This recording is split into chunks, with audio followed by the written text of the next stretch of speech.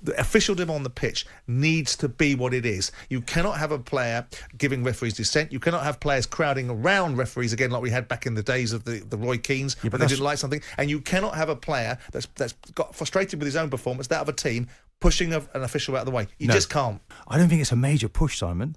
No, I, I think don't he think just it puts is. his hand I, I on didn't. him. I didn't suggest he drop kicked him out of the stadium. What I'm It's saying not is a the. I mean, I was the, actually the there for that the you want to keep, the eye that you want to keep on it is a blind eye. Right? What we've got to do is consequence this person. Fernandes cannot, and neither can any player on a football pitch, with it, whatever the reason is, whatever the temperature is of the game, cannot put their hands on an official. Can't move them to one side. I agree Can't get that. in their face. I agree can't that. show them disdain. Can't show contempt. Can't be petulant.